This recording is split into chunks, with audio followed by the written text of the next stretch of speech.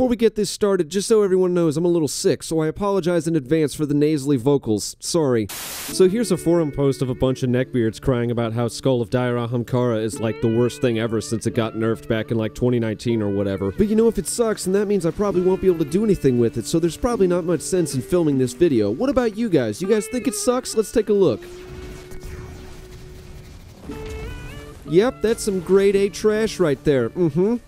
Bungie desperately tries to inhibit my work here on this channel with constant nerfs and weakenings to my favorite armors and weapons. It never fails. I make a video about something, and it gets nerfed. Like that Shatter Dive build from like a month back or so. And you know what? Shatter Dive got nerfed. What a surprise. But here's the thing. I'm not enough of an egotistical jockstrap to say that Bungo is watching me because this channel is tiny and mostly irrelevant slash inconsequential in the grand scheme of things. It's run by a hack who writes nonsensical slash unintelligent puns and metaphors in all of his scripts, all for the sake of a laugh. But every once in a while, I stuff out something real sweet. Just so we're clear, I'm talking about videos. See, Skull of Dire Ahamkara is actually still king for Voidwalker Super Regen. Seems that every time Bungo tries to fix something by weakening players, they add something new in the game that breaks the previous thing they were originally trying to fix. In this case, it was Energy Converter, and if you can peel back the onion layers of irony without tearing up, there's actually a really good build idea here. But before that, let's back up just for a minute. Let's talk about the Skull of Dire Ahamkara. Actual grandeur provides additional damage resistance during a Nova Bomb, and Nova Bomb kills grant extra super energy.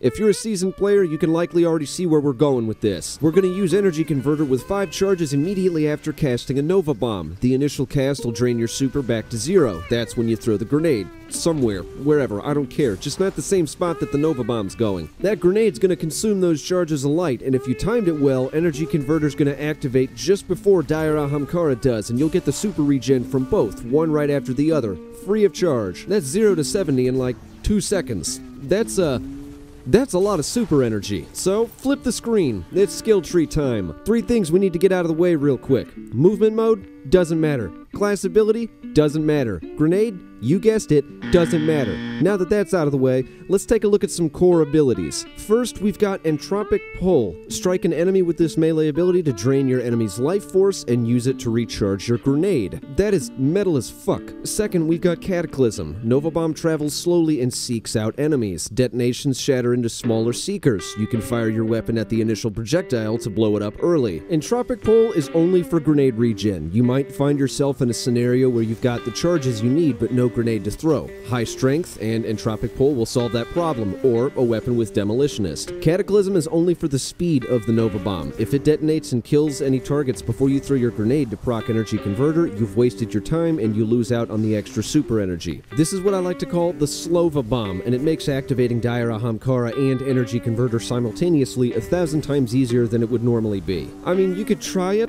on bottom tree with Devour, but the, the, the Nova Bomb, it, it travels too fast and, and just just just good luck. It's it's not worth it. It is not worth it. Let's take a look at the exotic alone in action without the mod. Here, you can see me demolish a cluster of mobs in this lost sector. So what's happening here is that every kill counts for a small amount of super energy. Unlike similar exotics for other classes, such as Shards of Galanor for example, you have to actually kill a target with the ability, not just damage it. The more targets that your portable black hole eats, the more energy that's going to come back. The same basic rules apply to all energy regen exotics. The stronger the enemy, the more energy it's going to give back on a kill. However, bosses and majors are nowhere near as common as minor targets. As a result, large mob crowds are usually the most effective, but the same strategy can be used on a boss for small amounts of super energy returned in exchange for eliminating a big boy target. Now, there is a way that we can make this even better, but it requires a few mods. Specifically, you'll need Supercharged, Charged Up, and Energy Converter alongside a charger mod of your choice. I tend to stick with Taking Charge because all of my guns are masterworked at this point, but you can use whatever. Supercharged and Charged Up are both solar combat mods, so that's two pieces of solar armor you're going to need to slot them. They slot for 5 energy and 2 energy, respectively. Energy Converter is a void combat mod that slots for 4 energy, and for all you new guys out there, we're going to talk about how it works right now. Energy Converter consumes charges of light in exchange for large amounts of super energy upon throwing a grenade. The more charges you have, the more energy you're likely going to get back. It can potentially return up to 50% of your super, but there's a catch to it, and believe it or not, I already said it. Up to 50%. Those are the key words. This means that the mod cannot, won't, and never will charge you any further than 50% of your maximum charge. In other words, only half the bar. In smooth brain terms, if you've got 5 charges and 45% of your super is already charged, you're only getting 5% back when you toss that grenade. Conversely, if you've got 5 charges and your super charge is only at 5%, you'll get anywhere from 35 to 45% of your super energy when you throw your grenade. That's just the nature of the mod, folks. I don't know what else to say. There's an assortment of weapons you could bring with you to spice it up a bit, but I'm done recommending weapons. I always get yelled at in the comments every time I do. So, that being said, if you really wanted to take bad juju, provided you have the catalyst, you're golden. If not, then I'm just not going to recommend anything because I always get yelled at and I'm tired of it. On the real though, if you're not using a kinetic slash energy loadout, you're making a mistake. Right now, pulse rifles and secondary shotguns are a real potent combo, and it would be a real shame not to use that to your advantage. So, we've gone over everything at this point. We've talked about the exotic itself, we've gone over skill trees, we've discussed mods, and I suggested a couple weapons that could potentially be handy in certain scenarios.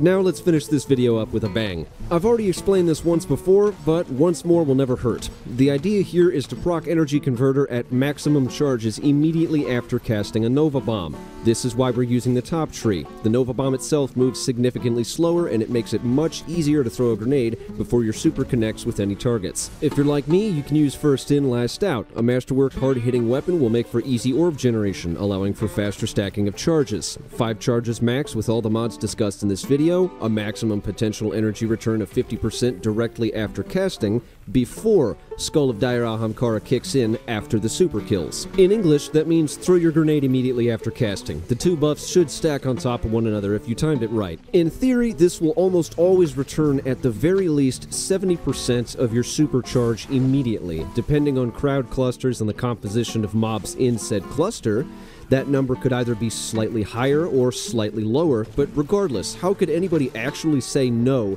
to 70% super regen immediately after casting? Either way, that sums up this entire video. It's an easy concept to grasp and it's just as easy to practice, so go hard in the paint. We got another community broadcast this weekend. I'll be in my cell until then.